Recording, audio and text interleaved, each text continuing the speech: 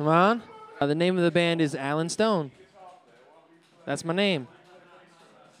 uh, you're at the Koffeehouse fifth annual Night of Independence. Uh, I'm here with my band from Seattle, Washington, and we're stoked to play. You're probably not here because you're watching this later, but uh, you should have been. See ya.